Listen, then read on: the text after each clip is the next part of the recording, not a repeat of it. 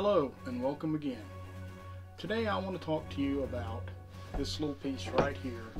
This is a reproduction 1763 Charleville uh, made by Navy Arms and I believe this one is actually manufactured by Pedersoli and imported under the Navy Arms brand.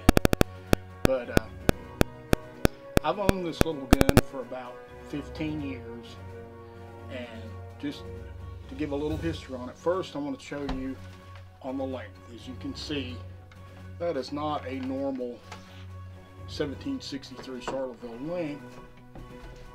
Let me get back here and get her sister. This is a Dixie Gun Works made by Miroku. And you can see there's a much larger length difference. So, the backstory on this little gun right here. I was looking on the internet back at about, I want to say 2006.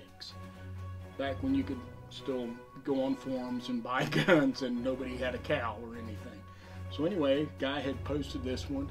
And I was looking at the time, I was working on doing a mounted militia impression. So I'd bought a saddle and that I was trying to modify to more of an, an English saddle, modifying it to an 18th century look. And I wanted a shorter gun carbine. I was looking at carbine, and this one came up on online, so I purchased it, ordered it, had it sent to me.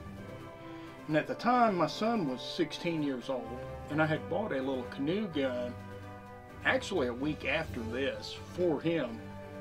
So this one came in the mail first. And as soon as he gets home, he happens to be getting off the school bus when I'm starting to open the box and he walks in. Hey, Dad, is that my gun? And I'm like, no. I said, I don't think so.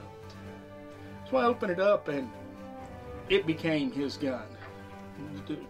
Long story short, two weeks later, we ran, uh, we were doing a small private shooting event down in Georgia and out of the, I want to say 10 or 15 entries in the event.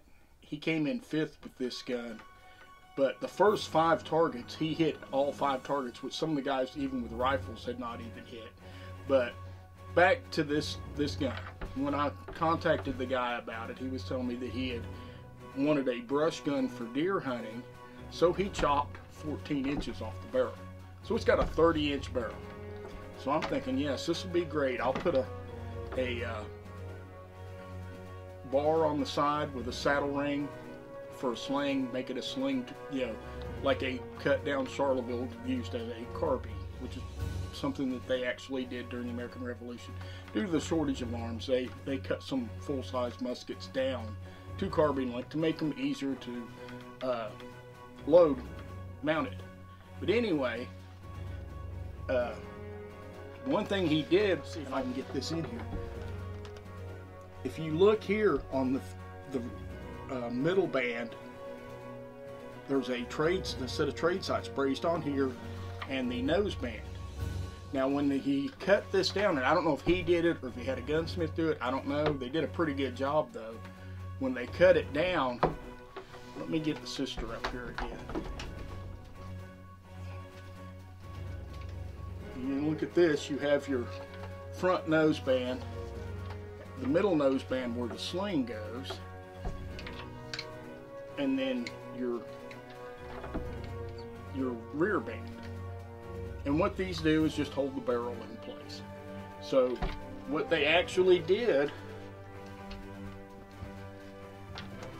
was move the front nose band, because you can tell it's got the two pieces here for the ramrod. They moved it to the second uh, band slot and put the sling swivel on it. So the sling swivel is still actually in about the same spot it's supposed to be.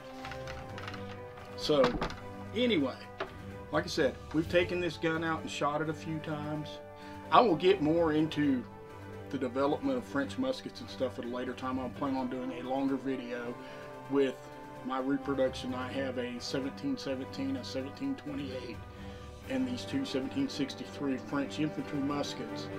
And I also have several brown besses and want to do because I have done in the past lectures on firearms, muskets of the American Revolution, and I figure I will do that in video format, put it on YouTube. But that'll come at a later date. So anyway, I just wanted to talk about this little gun because I used it in the last video. Oh, and if you watched my last video, the gun that I purchased, that I purchased used, that had a charge in the bore, it was this one right here. When I pinged the ramrod on it, it thudded and I took it home and immediately filled it with water in case the powder was still active. The story on that gun, the guy I bought it from had bought it from a friend that needed some money and who was an older, the person I bought it from was an older reenactor and this was one of his older friends. but anyway, before he got the gun, and I don't know how long he had had it, maybe up to a year, two years, I don't know, before he decided to pass it on. The person he bought it from had it sitting in a closet for 10 years. So I poured water down the bore, I took a worm, pulled out a bunch of old paper wadding, and there was a gunpowder charge in there. I had to flush it out really, just like this one. That's one of the things, one of the reasons I want to talk about, the reason I use this one so much, if I'm doing stuff indoors with a shorter barrel, makes this really handy for like pinging the ramrod and stuff. If you've got low ceilings, you're not hitting ceilings, stuff like that.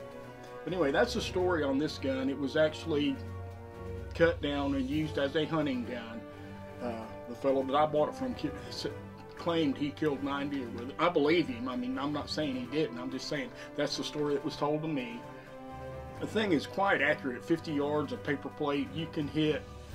Uh, I can put four or five shots in a row in a in a nine-inch circle at 50 yards, which for me, you know, where we're located here, most of your shots at deer are way under 50 yards.